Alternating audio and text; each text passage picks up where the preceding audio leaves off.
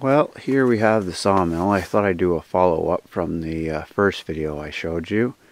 Uh, so, we'll get uh, we'll get started. When I ordered the mill, I ordered an extra extra track section, and uh, the mill does not come with a trailer, but the company provides plans. So I built the uh, I built the trailer using their plans um, for the most part, and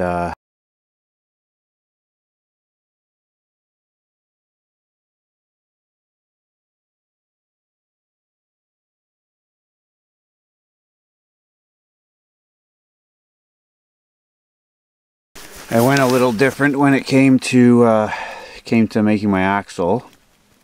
I went uh, straight axle, but if you're going to be doing a lot of towing on roads, you'll probably want uh, want to put springs, uh, leaf springs, and uh, then I added uh, added these jacks to help get it up and down. These are just in the middle. Then I got another two at the front on each side.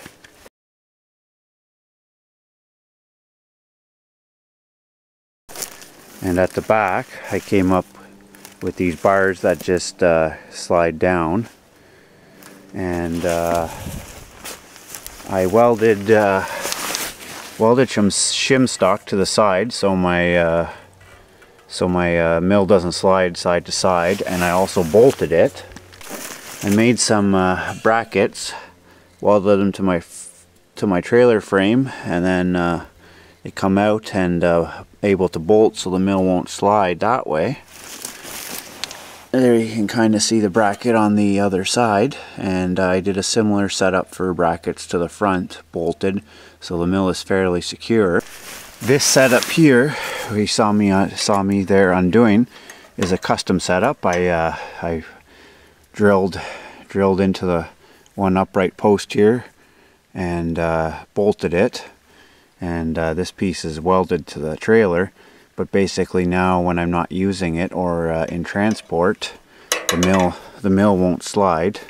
I still sometimes just put a block just as a double safety. And uh, so basically this pin system as you saw in the first video just easy to undo. And uh, one on this side and one over here. And eventually if I wanted to I could add two more to the front and uh, now the mill the mill only wiggles a little bit. And uh, this is the uh, lubrication tank for the blade. I drew uh, in that video I was just using soap and water. And uh, there's the uh, there's the valve. Um, these lock lock it in place from going up and down the mill one on each side uh, this is the uh, blade tension here. And uh, this setup here controls the height. And obviously this would be your throttle. And these pieces here yeah, one here and one further down put them into your log and your log won't slide. These are the upright posts that uh, you put so the log doesn't uh, roll off uh, roll off the trailer and uh, between having these up enough and that locked in place your uh, log doesn't move. This here is just a safety bar and it lines up when you have these at the right height and you're cutting these uh, you're coming along this bar will hit uh, hit this first rather than your blade hitting it so when you come to stop, you know that uh, you got to readjust, uh, readjust the height of these and reevaluate the situation you're in. And uh, that's where the lubrication line comes down. And here is the, uh, here's where the uh, manual, you can keep your manual, uh, came with a pair of gloves, earplugs, and safety glasses. And yeah, so a nice waterproof spot and I was able to, uh, top of my extra track extension, I was able to get a uh, nice cover that you saw me take off there. So uh, covers the main main setup here, your engine and your blades.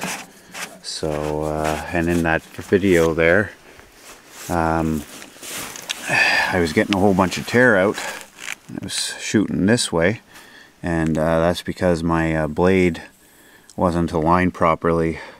It was uh, away from the uh, little bearings there but I uh, now uh, have everything aligned properly so you won't get I won't be getting that tear out anymore.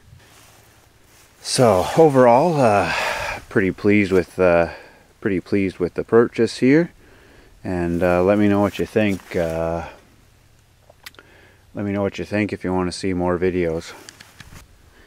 So, uh, yeah, thanks for watching.